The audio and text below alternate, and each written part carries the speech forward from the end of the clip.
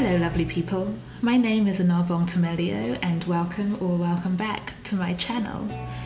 So, last month I decided to participate in Inktober for my very first time. It's a challenge that I've wanted to do for a couple of years now, but I've always been intimidated by it. This year I did absolutely no planning beforehand whatsoever, a technique that I would highly not recommend it wasn't until October 1st that I decided actually that I was going to go through with the challenge. So, what I decided I wanted to do was spend 31 days drawing influential black American writers. So, if you do want to watch every video that I made over the past 31 days for Inktober, you can watch it in the playlist that I will link in this video. Um, today we are not talking about the subject matters, the authors themselves, we're talking about my experience doing Inktober. So enough chatter, let's get to it. My first day was sad because I actually ended up losing the footage of drawing Toni Morrison. But when you think of black American writers, who do you think of but Miss Toni Morrison?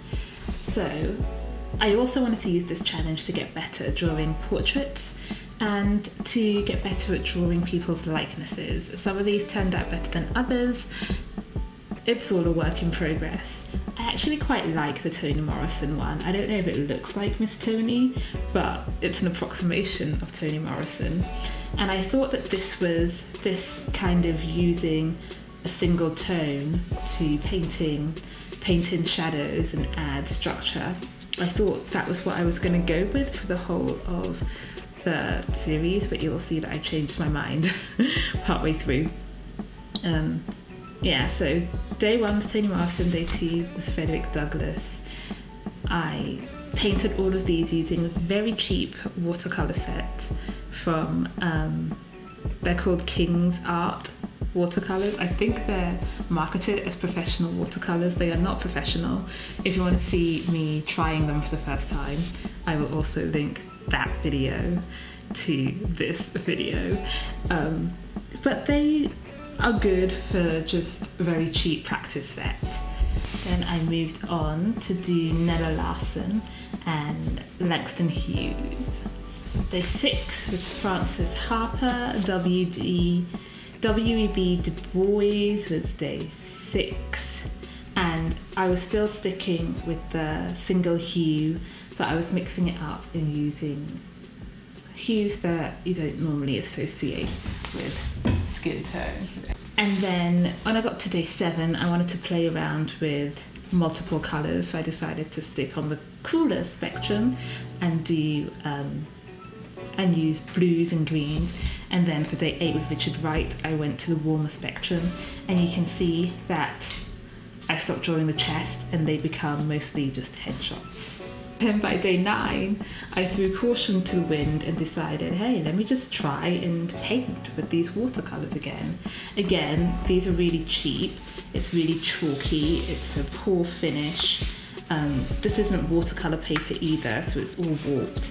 But if you're just looking for cheap watercolors to practice with, um, especially if you're just practicing your color theory and how to do colors, um, just grab out a cheap set and just do it.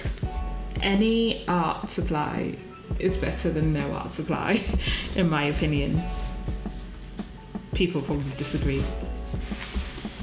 Then I had enough of the cheap watercolours and decided to break out my watercolour markers. This set I do enjoy. I feel like I feel like with this whole page, this whole spread, maybe not so much with Maya, but with most of the spread, there is a likeness there. It's not a clear-cut like likeness, but especially with Octavia Butler, I feel like you would know just by looking at that without the label, that's Octavia Butler.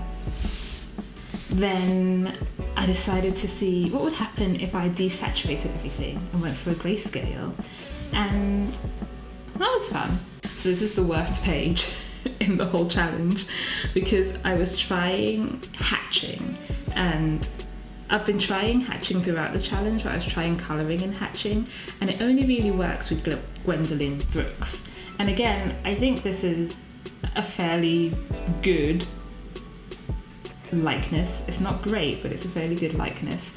And I was actually surprised by how the hands turned out because I thought that was going to end up horrible, but it wasn't so bad. Um, but Angela Davis and Nikki Giovanni, I need a redo. So after the hatching fiasco, I came back to watercolors, and it kind of felt like I had to warm up again. Harriet Jacobs looks like Prince. Ta-Nehisi Coates, I'm sorry, Ta-Nehisi Coates. I need to do a redo of him. Uh, Phillis Wheatley came out okay, but it's not a great likeness. And then I feel like we had a breakthrough with Roxane Gay. Roxane Gay might be my favourite of the whole series because, yeah, something flipped with Roxane Gay where I liked how it looked. I felt like there was a fairly good likeness. I enjoyed drawing her hair. Enjoyed I enjoyed the whole process, and so that was great. It was after I did Roxane Gay that I decided that yes, I need to invest in some watercolor paper and some good watercolor paints and um, actually get better at this. And then it just kind of, I was on a roll. I did Amiri Baraka, Paul Laurence Dunbar, N.K. Jemisin, and I'm fairly happy with all of these. I was playing around with shadow and light and colours and mixes, and I've still got a lot to learn, but this was great practice. And then this is my final page. I had five left, so I thought I'd squeeze them into one page. And yeah, the roll continued. I like most of these. Gloria Naylor, I didn't like the paint job. It ended up coming out very mucky. I um, mixed too many cool and dark tones, and I was like, yeah, it's muddy. The same with Ida B. Wells. I didn't do her well. Um, but Audre Lorde takes centre spot, and I enjoy her with centre spot because um, she's probably my favourite of this whole spread. And Bell Hooks, I like the way the lighting came out with her, and also the way her hair came out. So this is the first time um, that I've ever been able to keep up a regular drawing practice of drawing every single day.